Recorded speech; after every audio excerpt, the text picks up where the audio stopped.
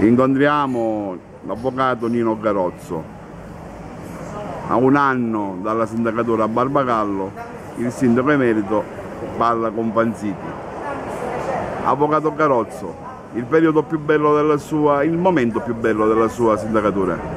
Ma certamente eh, quando con grande entusiasmo eravamo a caccia di molti finanziamenti e, e, e con un metodo eh, infallibile abbiamo eh, ottenuto molte opportunità per la nostra città. Ecco, ad ogni finanziamento, ad ogni opera per noi era motivo eh, di grande felicità. Ecco, vedere realizzate delle cose, eh, vedere di nuovo il Palazzetto dello Sport, il Teatro Mogeri, eh, erano delle opere certamente che eh, interessavano la città da, da molti decenni.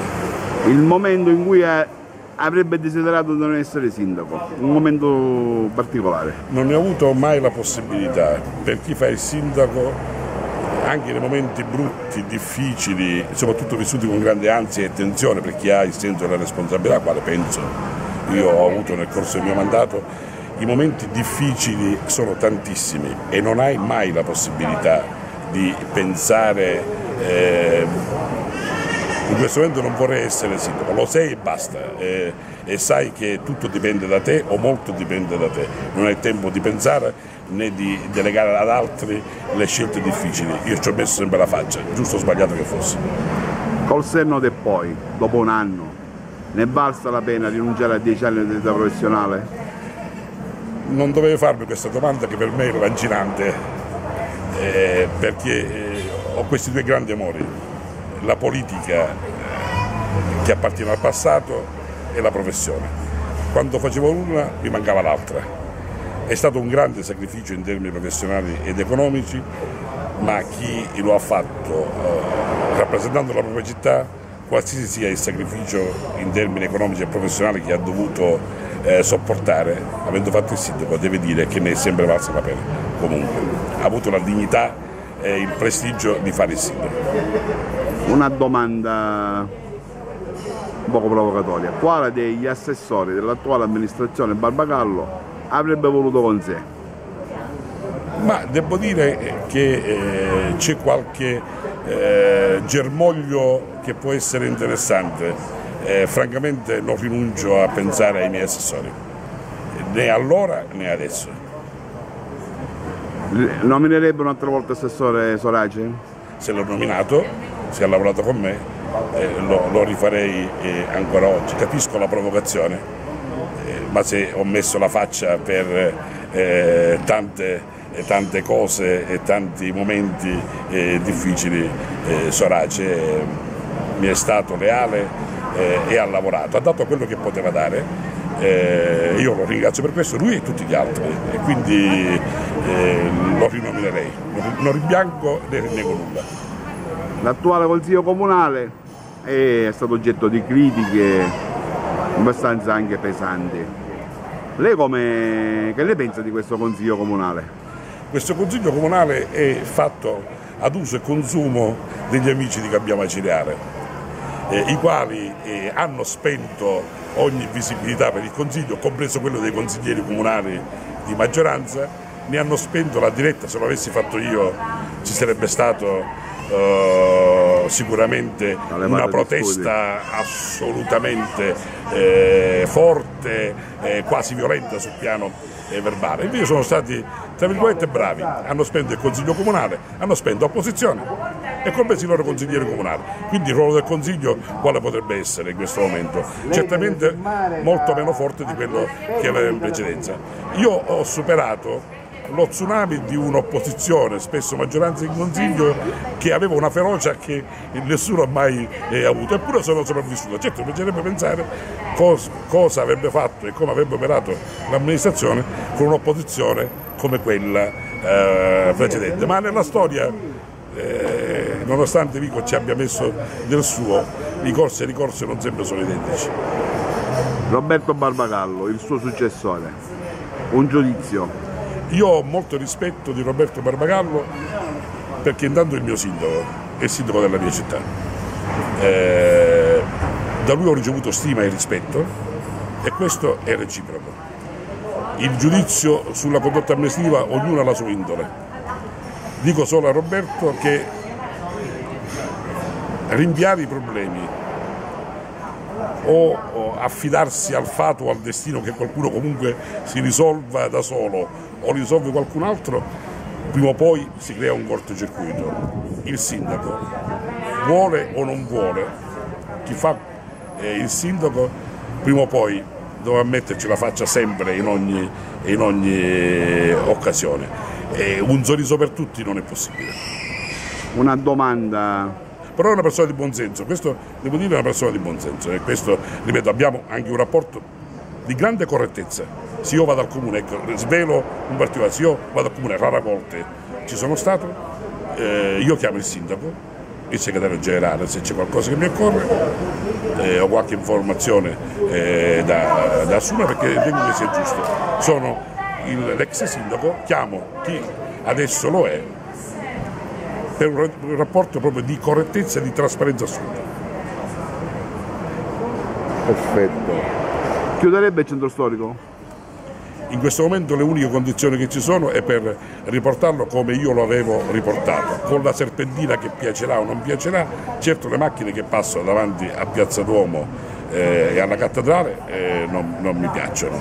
Eh, questa pista tipo di, di decollo eh, che c'è in Piazza Duomo mi piace ancor meno, le condizioni forse per chiudere tutto eh, non c'è. Ma se cambiamo a Ciriale ha sempre detto che non andava bene la chiusura del centro storico. Adesso cosa fa? Dice che lo vuole chiudere il centro storico per un'area ancora più ampia. Ma io ho l'impressione che è un modo per eh, non chiuderlo mai. Eh, e allora io mi sarei accontentato di quello, di, quello, di quello spazio. Se ci saranno le condizioni e questa amministrazione farà una chiusura più ampia di quella che avevo fatto io, ben venga. Ma ho l'impressione che non lo farà, non sfiderà il, il, il, dissenso. Impiegati comunali. Impiegati comunali con eh, l'attuale amministrazione non penso siano estremamente felici. Con lei forse il rapporto era diverso Cosa ne pensa? Io posso dire che, che io avevo un rapporto di grande franchezza. Non penso che durante il mio mandato sia stato amatissimo eh, dai dipendenti comunali eh, e soprattutto dagli amici precari che eh, eh non comprendevo come le leggi eh, anche di contabilità non consentissero eh, una stabilizzazione. Quindi non penso di essere stato amatissimo, ma certo sul piano della correttezza perché diceva esattamente come stavano le cose, questo sì. Certo oggi devo dire che è, eh, mi si restituisce mm, questa mia correttezza e questa mia chiarezza, ma questo dipende da che cosa è stato promesso ai dipendenti comunali durante la campagna elettorale. Sì, ho promesso eh, scintille, eh, lustrine paillette e poi eh, mi ritrovo in una situazione peggiore, allora magari qualcuno comincia a pensare meglio chi ci diceva le cose come stavano. Carnevale e Antonio Coniglio. Eh, questa non è una provocazione, Antonio Coniglio per la sua eh, cultura giuridica nell'affrontare l'amministrazione della cosa pubblica, eh, sapete che è una persona eh, che stimo, come stimavo suo padre, eh, perché è una persona di buonsenso. Non capisco questo fuoco amico o nemico, eh, questo accerchiamento che Antonio sta subendo. Io non ho condiviso le scelte che Antonio si è lasciato imporre sui carri fermi che ha veramente eh, denaturato eh, e reso diverso il carnevale. Questo non l'ho capito e questo l'ho sempre criticato, mi auguro che, che cambi di nuovo eh, e si ritorni alla vecchia sfilata che rende gioioso eh, e spettacolare il carnevale. Eh, però sono convinto anche che è stato lasciato così solo e forse anche per scelte politiche che a parte il sindaco e Salvo Nicotra se non fosse stato per, per, Antonio Coniglio perché ci ha lavorato gratuitamente ogni giorno per molto del giorno sono convinto che il carnevale sarebbe saltato. Chi è contro il carnevale? Un acese non lo può essere può non amare il carnevale, ma non può non capire l'importanza del carnevale per la città. Il servizio della Senesi come lo giudica? peggiore di quello della DAS che già non è entusiasmante. Abbiamo toccato il punto più basso. Eh, poi bisogna vedere eh, se è un problema di ditta o se è qualche altro problema. Il, eh, la spazzatura e la tassa è aumentata, ma il servizio non è migliorato. Mi auguro che con il nuovo capitolato, ma si è perso un anno di tempo perché tutto sommato con lievi modifiche già la mia amministrazione lo aveva approntato, eh, ci sia un investimento nuovo e possa partire la differenziata, è tutto lì. Anche noi abbiamo atteso 4-5 anni per poter partire con la differenziata. Comunque eh, il giudizio sulla Senesi negativo. Villa Belvedere, pensieri a un anno di distanza. Avevo previsto, e lo dissi alla sovrintendente personalmente, che lavori importantissimi che mai si sarebbero potuti fare se non con fondi extra bilancio e a titolo gratuito per il comune sarebbero stati macchiati da quella convinzione che varrà per Bolzano, Trento e Trieste, ma non certo per Acireale, di mettere il ghiaietto eh, lavico e di imporlo. Franzite ha dato atto, anzi tu Santo hai dato atto della mia insistenza anche con verbale scritto per toglierlo. Qui ho commesso un errore, perché pur avendo previsto le polemiche e avendole prospettato alla sovrintendente, dovevo fare quello che avevo detto e minacciato. Dovevo aprire la villa e dovevo mettere le transenne per, eh, nella parte dove c'è il ghietto dicendo divieto di accesso per vincolo di sovrintendenza. Lo avevo minacciato e lo avevo detto anche alla sovrintendenza e poi non l'ho fatto per ragioni evidentemente istituzionali, perché vedi, quei, quei, noi con quei soldi abbiamo fatto eh, il centro del turismo, Palazzo del Turismo, abbiamo fatto l'angolo di Paradiso criticatissimo, oggi tutti quanti ci vanno ed è molto bello, l'arena, il caffè, lavori importantissimi, ma tutti parlano del ghiaietto. Non aver capito questo è stato un grave bonus per la città. Il fatto che io non abbia messo le trenzenne eh, facendo diventare un caso nazionale eh, è stato un mio atto di codardia forse, eh, perché l'imposizione della sovrintendenza non poteva essere ribaltata e allora doveva fare una clamorosa eh, protesta. Di questo forse sono un po' eh, pentito, per il resto gli accesi eh, si accorgeranno quanto valgono questi lavori, che per il resto sono ben fatti e anzi che venga riaperta e non venga tenuta in ostaggio dopo molti, molti, molti, molti mesi. E il tempo di sospensione dell'apertura è più lungo adesso che quello per fare i lavori. Qualcosa non funziona e quindi al di là delle parole qualcuno, al di là delle promesse e degli annunci durante la campagna elettorale, vada lì, tagli se deve tagliare qualche ramo eh, o qualche albero, se questo riapre la villa, perché la villa va, va riaperta. Poi sul ghiaietto eh, la verità, la verità ve, lo, eh, ve l'ho detta, se qualcuno è pronto a risistemarla in 15 giorni ma non ci riuscirà, lo faccia. Siamo ad agosto e dei termini che qualcuno si era dato non trovo traccia. È vero. E una domanda a Marco. Ah, Marco. Quando incontra i suoi concittadini per strada, qual è la domanda che le fanno più ricorrente? Ah, me ne fanno mille, perché mi chiedono a me ora della nuova amministrazione.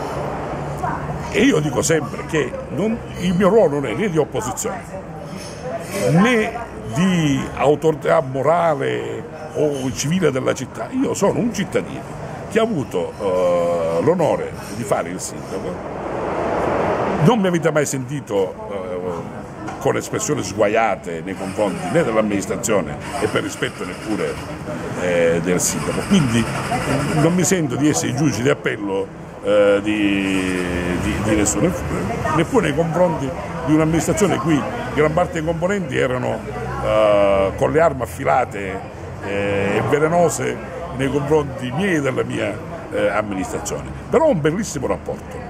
Devo dire che mi fermo volentieri eh, a chiacchierare e trovo grande affetto e grande considerazione. Se mi permetti anche stima.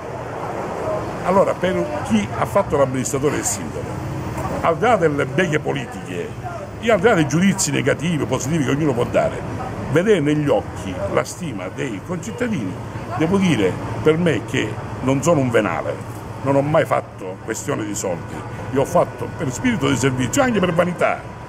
Se, se vuoi Questo è il massimo del riconoscimento, perché penso che la città abbia capito che tutto quello che ho fatto, giusto o sbagliato, e penso che qualche cosa di buono è stata fatta, l'ho fatto sempre con disinteresse personale assoluto. Non c'è bisogno che qualcuno vada a controllare i miei conti o, o i miei averi. Ne abbiamo È dato risaputo. anche testimonianza noi del sindaco Garozzo che stimiamo per la sua integrità morale sicuramente. E qual è l'avvenire politico di Nino Garozzo? Io direi qual è l'avvenire politico di chi ama la politica?